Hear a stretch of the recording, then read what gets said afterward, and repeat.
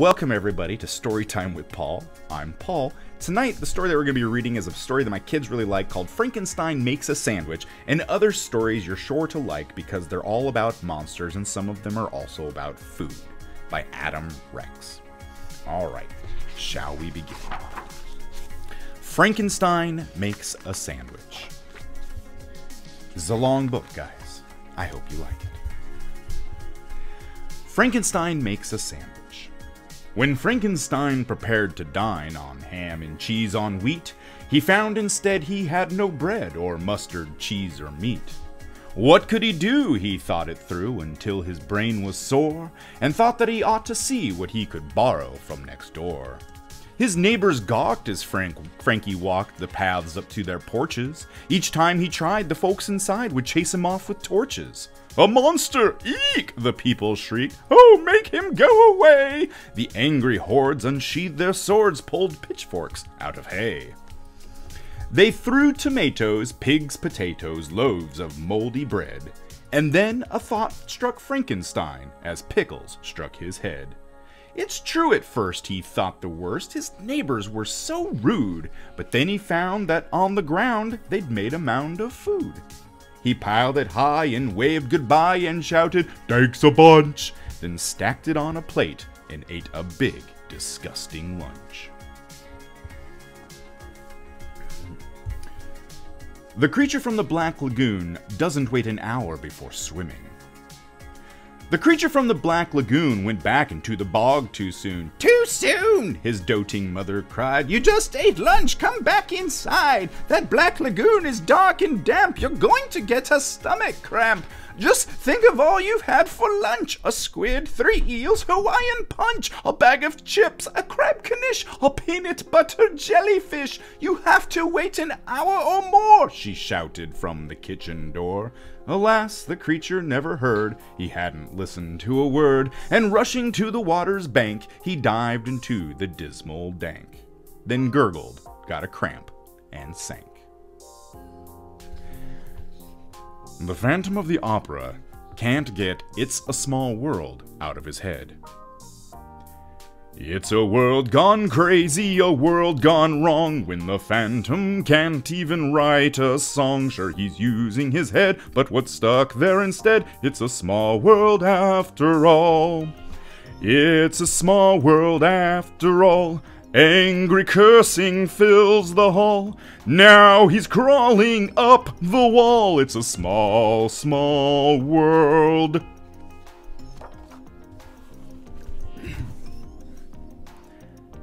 The Middle Witch Witch Watchers Club, a club which watches witches. Witch watchers hide in trees and shrubs or settle deep in ditches, and when they spot a witch, they look to see which witch it was. They check inside the Witch Watch book by Mitchell and Von Fuzz. Today they saw a speckled crone which shrieked while eating flies, and then a frazzled warthog eating kid and kidney pies. The long-beaked harpy does this trick with eels, you've got to see. The middle witch witch watchers spotted one while having tea. When evening came and nighttime spilled its ink across the sky, the middle witch witch watchers packed their things and waved goodbye. But then, by chance, they glanced upon the rarest witch of all. A rooty, a ruby-throated cackler. Look, her hat is six feet tall. Quiet now, and listen to her sweet, alluring call. Cackety cack and jiggity jig, sit on a monkey and snack on a pig. Hickety diggity cackety coo, cack cockle doodle doo.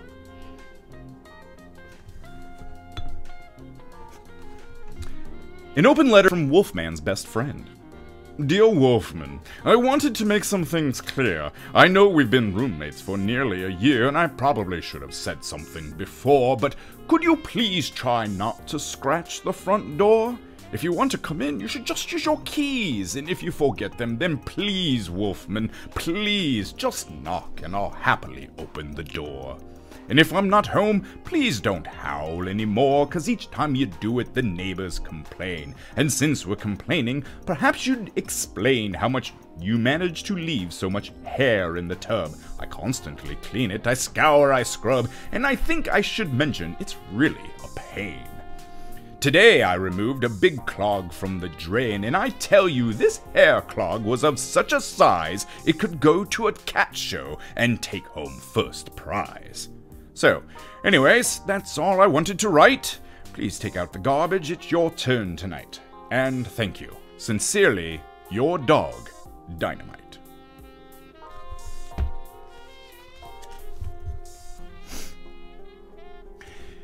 The Invisible Man gets a haircut. My hair is a fright, said Griffin one night, or at least I assume that it is. It feels awfully long, and the part is all wrong, and it's knotted and tangled and with frizz. An invisible ne'er-do-well's hairdo will scare you no matter how well you cut hair. The barber, downhearted, got, took aim and got started, and the whole thing went downhill from there. Said Griffin, Oh my, that's your thumb in my eye, and my nostrils no place for a comb. Oh dear, where's my ear? Well, I knew it was here on my head when I checked it at home. He shouted, Enough! You're being too rough! And then Griffin jumped out of the chair. So Invisible Man wears a visible hat to conceal his invisible hair. If you'd like to see, there's actually more stories hidden in this picture. So it says over here, this first guy, of course, galloped up on a horse, and his face fills the barber with fear. He has not a head, but a pumpkin instead, and the barber can't tell why he's here. The man next to him wants a shave and a trim, and but he so he has to be some kind of nut. The fella's a ghost, so his hair at the most can be seen, but not possibly cut. The gal at the door has been in here before. Her hair ate his best pair of shears. And the one in the chair says she's sick of her hair and she wants it like Britney Spears.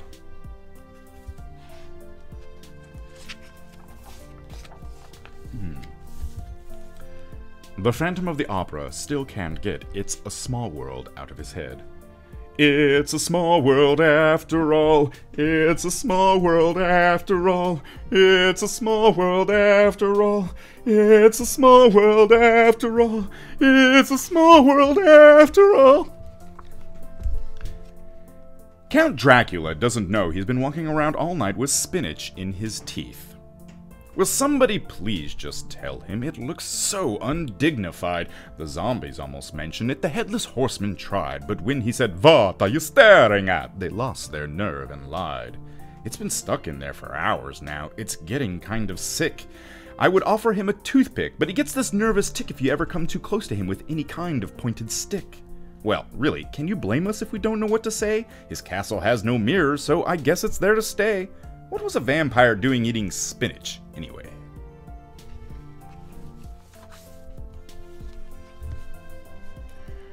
The mummy won't go to his eternal rest without a story and some cookies.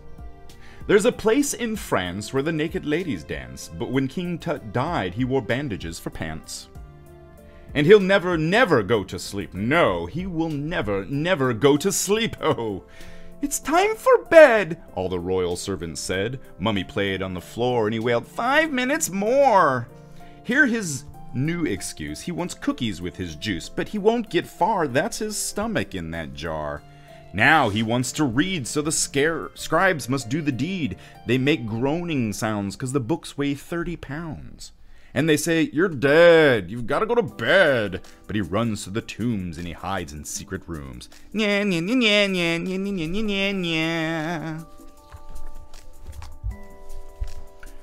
The Yeti doesn't appreciate being called Bigfoot. Did you just say Bigfoot? What's wrong with your eyes? My feet aren't remotely as big as that guy's, nor are they as smelly. You see, here's the truth. Some folks call him Sasquatch. His real name is Ruth. So well, then why is it Bigfoot the name people mention? The smell, not the size, is what gets their attention. His nose is big too, but does anyone care? Perhaps if they smelled, they would be more aware. Well, of course his nose smells, but you know what I meant. You can bet he's no Yeti by the way of his scent. The Phantom of the Opera can't get Pop Goes the Weasel out of his head. He's going to freak out! All around the opera house, the phantom throws a tantrum. The song won't die, he doesn't know why. Stop goes the phantom.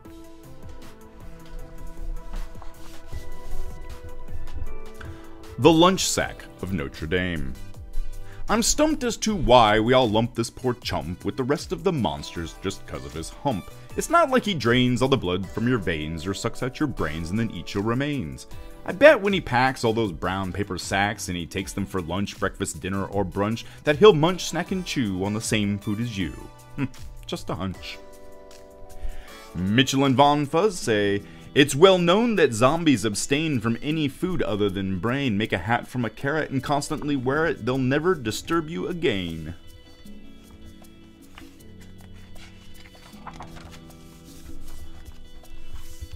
Dr. Jekyll and Mr. Henderson. The doctor sighed. His tie was tied. He fiddled with his combs. He hated all these dressy balls in crowded halls and homes. He couldn't dance. He found the fancy food just made him choke, and guests would, would heckle Jekyll if he tried to make a joke. The clock began to chime. The time was eight. He was late. He'd rather go to bed instead of going out. But wait. The notion of a certain potion filled him with delight. Why stay inside when Mr. Hyde could go out for the night? Sure, Hyde was snide, he always lied, and women cried to see him. And yet it still was such a thrill when Jekyll got to be him. You should see him dance the polka. Fancy folk avoid his feet, and he, as he reels and whirls the girls around the hall and down the street. He laughed and mixed the draft that makes a gentleman a jerk, and thought a lot about the ball, but not about his work. 'Twas all his fault he added salt instead of crumbled skull. The vial of bile was pickle juice, and dill just made it dull. Alas, the glass of cream of evil mixed with powdered creep was really milk the maid had laid aside to help him sleep. He never knew he drank the brew while running out the door, although he thought the beaker tasted weaker than before. He reached the ball and looked in all the mirrors at his head. It wasn't Hyde he spied, but Henderson instead. His shoulders stooped, his eyelids drooped, his face looked pooped and wan, and where his hair of hide was fried, his hair looked plastered on. What's done is done, sighed Henderson, and went to join the rest. Around the floor he stopped to bore the pants off every guest. He told a stale and endless tale that tested their endurance, topped with that with pictures of his cat, then sold them all insurance. For Henderson possessed one tenth the zest that Jekyll had, far less, in fact, he lacked the personality of Plaid. The guests professed they needed rest, they had an early morn, they couldn't stay, they edged away, but then, without a warning, the way was blocked, the exit locked, with Henderson in ahead. O cruel ennui, he held the key, and we, he held the key, and wearily he said, You know, the sight of all you people trying to get away has made me mindful of a funny yarn I read the other day. And when I mention yarn, you know, I really mean to say I read a story, not a yarn in any woolly sort of way, although I think we'd all agree that yarn is thrilling, huh? I'd listen to a yarn about some yarn most any day. Um, alas, that's not funny yarn I'm trying to convey. This tale is funny strange, not funny, haha, by the way. It seems a certain donkey living out in Santa Fe was made to toil the day away by pulling cargo in the dray. A dray's a sort of cart, you know. This one was filled with hay, but that's not really relevant. The thing I want to say about the donkey in particular looking rather smart and gay, owing mostly to the fact he wore a polka dot beret. And if any fellow tried to take the donkey's hat away, then the ass, uh, that is, the donkey, would get very cross and nay, Wait, horses neigh, not donkeys. What I mean to say is bray. He would bray, not neigh, if someone took away his polka dot beret, which reminds me of an anecdote I heard a milkman say.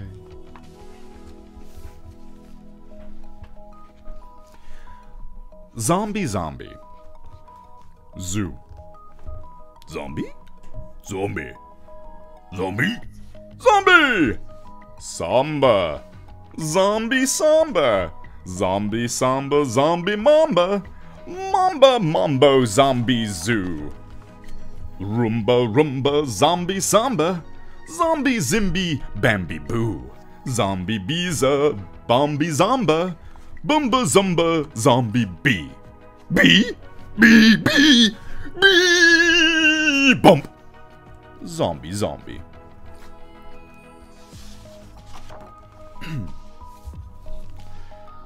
Now the Phantom of the Opera can't get the girl of from Ipanema out of his head. Bald and pale and masked and ugly, the Phantom of the Opera's writing, but when he knows that he can't compose, he goes, ah! Every song comes out to samba, although he runs to write an aria, so his top blows and he tears his clothes and goes, ah! The Dentist. Poor son of Dracula, he's just a dud. His daddy is famous, but his name is Mud. For how much blood could a bloodsucker suck if a bloodsucker can't suck blood? Ahem. Everything's fine if he sucks on the throat of a dog or a hog or a cat or a goat, but a cold blooded thing like a lizard or snake makes his head start to hurt and his fangs really ache. Franken Jr. was shocked. You'll have to go see the worst monster of all. She's much worse than me. Her fingers are hooks, hooks, needles, and spears. Her voice is a high buzzing whine in your ears. Instead of a head, there's a big glowing eye, the Franken boy said with a shuddering sigh. She doesn't sound scary, said Dracula's son. Not scary like crosses or stakes or the sun. So he made his appointment for just after dark at the New Transylvania Medical Park. It's awful, he whispered. So cheery and bright. You'd think it would kill them to turn off a light. They need some nice coffins. It's really a shame, young Dracula said as the nurse called his name. He followed inside, and before he could hide, the dentist was standing there right by his side. Note to the timid or just faint of heart. The story has come to the frightening part. Stop reading! Now put the book down. This is scary. Peligro! Use caution. Beware and be wary. Still here? Very well.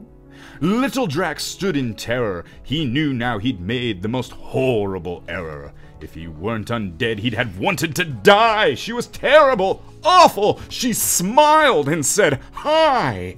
Her voice was a sweet lilting song in his ears. Her fingers were fingers, not needles or spears. That big glowing eye was a lamp, not a head. It was all so much worse than the Franken boy said.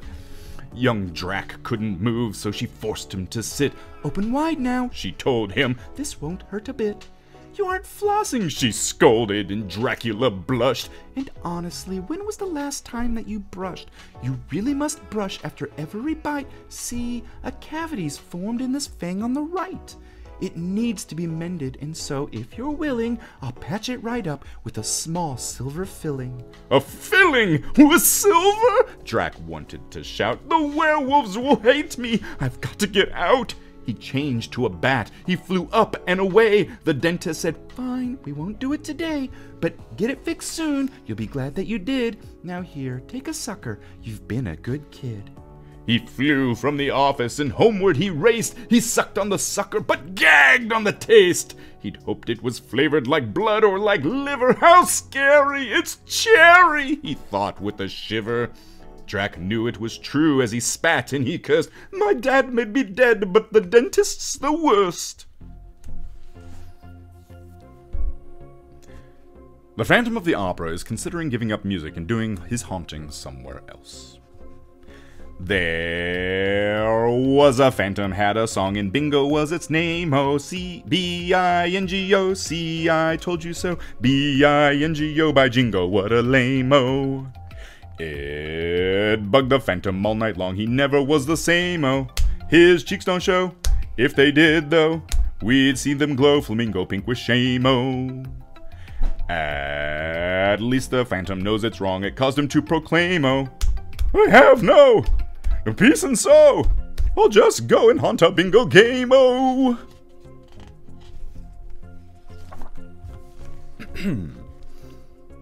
Bigfoot can't believe you called him Yeti just now. Wait, what did you say? The Yeti? No way! I know that I'm going a little bit gray, though I'm told I all the time I can still pass for 30. But Yeti's all white, except when he's dirty. And man, is he dirty! You might as well know the Yeti is sweaty despite all the snow. They call him abominable for a reason. That snowman's B.O. man in every season. Hey, sorry I shouted. You gave me a fright. You don't think we're that similar, right?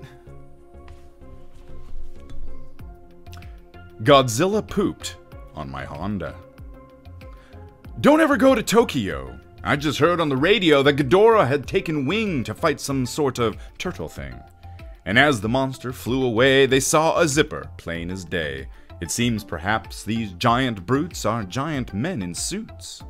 I swear I'm leaving Tokyo. I watched as, just a week ago, some robots crushed my mailbox flat, and only two days after that, a moth, moth the size of Fuji goes and chews up all my Sunday clothes. I bought a mothball from the store. It won't fit through the door. And just last night, what did I see? Turdzilla where my car should be. It's not so bad. I'm sure some dupe will pay for real Godzilla poop. I'll make a sign, or better yet, I'll sell it on the internet and then when I've made enough, I'll go to any place but Tokyo.